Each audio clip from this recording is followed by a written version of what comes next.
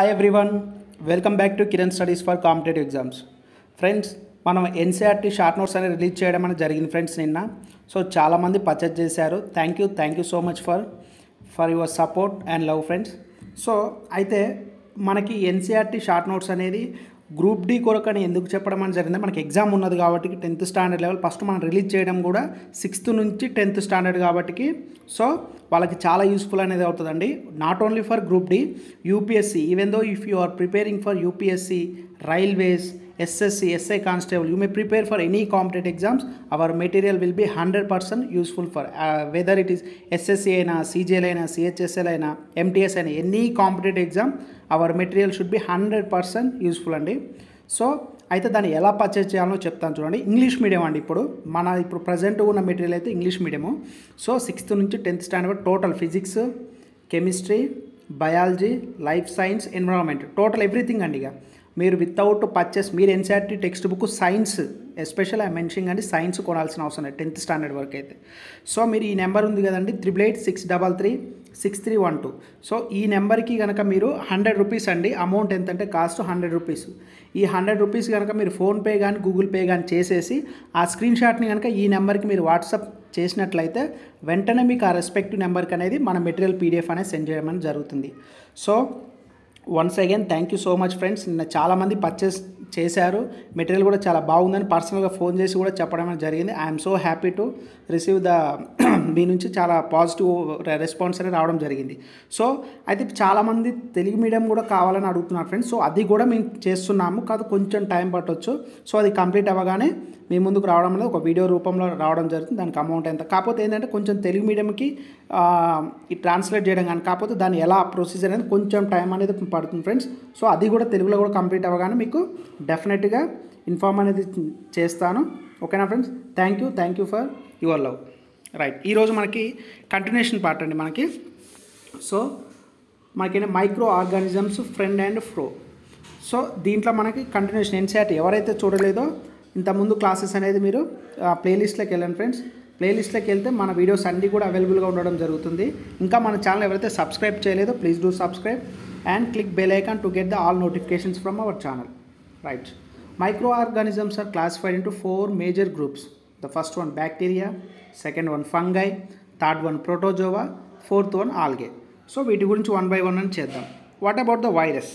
Virus అంటే cold influenza flu cough polio chicken pox these all are belongs to the virus అనమాట virus వల్ల మనకి ఏమొస్తాయండి జలుబు కానీ దగ్గు కానీ ఇప్పుడు పోలియో ఉన్నది కండి. మనకి ఎగ్జామ్లో చాలా ఎగ్జామ్స్లో అడిగాడండి. Polio causes by bacteria virus fungus protozoa అని చెప్పి అడగడం జరిగింది. సో మనకు ఆన్సర్ ఏంటి? పోలియో అనేది డ్యూ టు వైరస్ వల్ల అనమాట ప్రోటోజో వల్ల ఏమేమి మనకి డిసీజెస్ వస్తాయండి?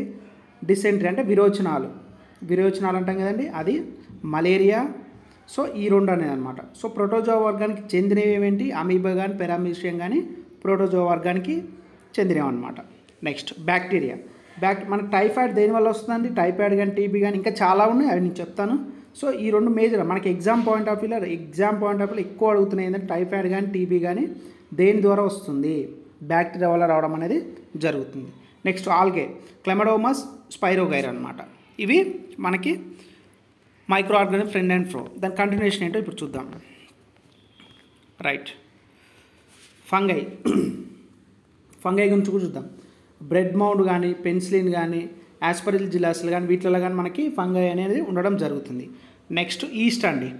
ఈస్ట్ యూజ్ ఏంటనే చూద్దాం ఇప్పుడు. Yeast reproduces rapidly and produces carbon dioxide during respiration Bubbles of the gas fill the dough and increase its volume. This is the basis of the use of the yeast in the baking industry for making breads pastries and cake pastries అంటే రొట్టెలు breads అంటే మనకు తెలుసు cakes so east ఏం చేస్తుందంటే మనం పిండి కలిపి ఉంచుతాం కదండి ఆ కలిపించిన పిండిలో ఆ ఓల్డ్స్ బబుల్స్ ఉంటాయి కదా సో దానివల్ల ఏమైందంటే ఈ కార్బన్ డైఆక్సైడ్ వల్ల ఇంక్రీజ్ అవుతుంది అనమాట సైజ్ అనేది ఇంక్రీజ్ అవుతుంది అందుకే చూడండి మనకి బ్రెడ్ అనేది లోపల హెయిర్ బబుల్స్ టైప్ ఉండడం వల్ల దాన్ని మనం ప్రెస్ చేస్తే చాలా చిన్న సైజ్ కూడా అవుతుంది. రీసైజ్ కూడా అవుతుంది. సో ఆ మనకి ఏదైతే ఇంక్రీజ్ అవుతుందో ఇన్సైడ్ బబుల్స్ ఉందో దానికి కారణం ఏంటని చాలా ఎగ్జామ్స్లో అడిగారని ఈస్ట్ అండి. చాలామంది కార్బన్ డైఆక్సైడ్ అంటే కార్బన్ డైఆక్సైడ్ ప్రొడ్యూస్ చేయడం వల్ల అండి అది. ఆన్సర్ చాలామంది కార్బన్ డైఆక్సైడ్ పెడతారు. కార్బన్ డైఆక్సైడ్ కాదు. ఆ ప్రాసెస్ని ఈస్ట్ అంటాం. మనకు ఆ ఈస్ట్ వల్ల జరుగుతుంది. కానీ అందులో ఇన్వాల్వ్ అయ్యేది మాత్రం కార్బన్ డైఆక్సైడ్. కన్ఫ్యూజన్ మాత్రం అవుద్దండి.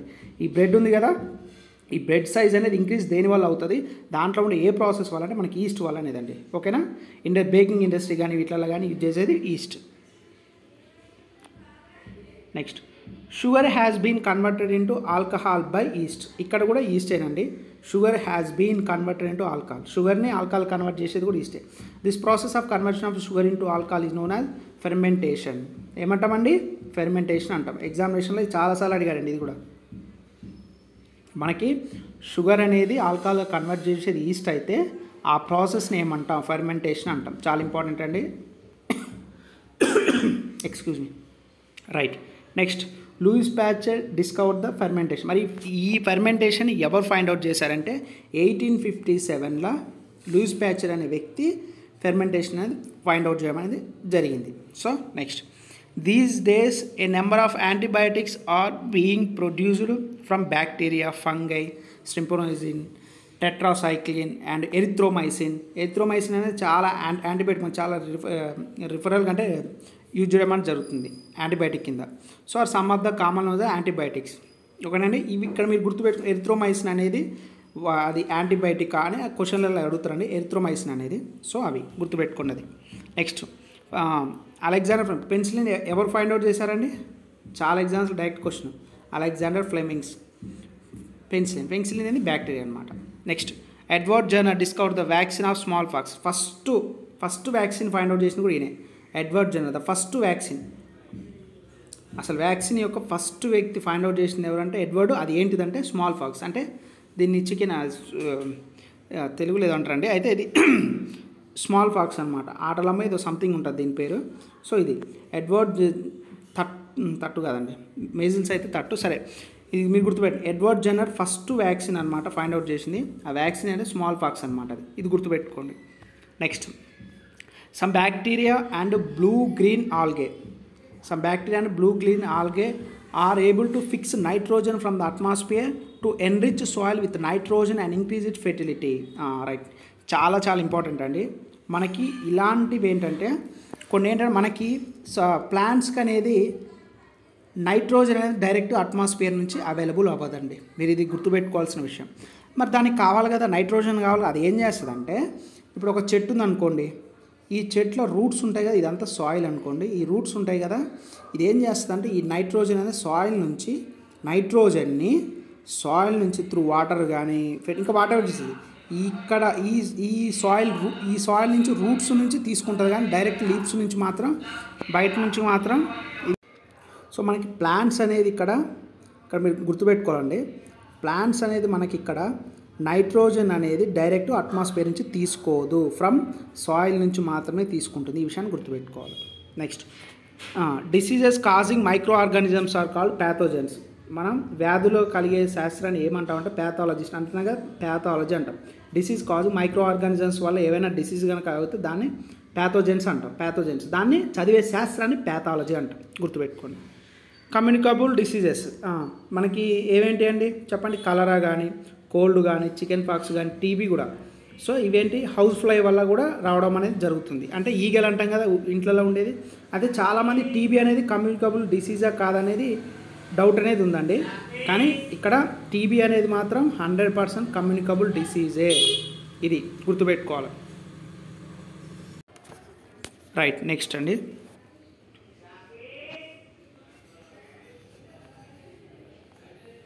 నెక్స్ట్ మనకి ఇంకా కంటిన్యూషన్ అనేది నెక్స్ట్ క్లాస్లో చూద్దాం. ఇది కొంచెం చాప్టర్ అనేది పెద్దగా ఉన్నది.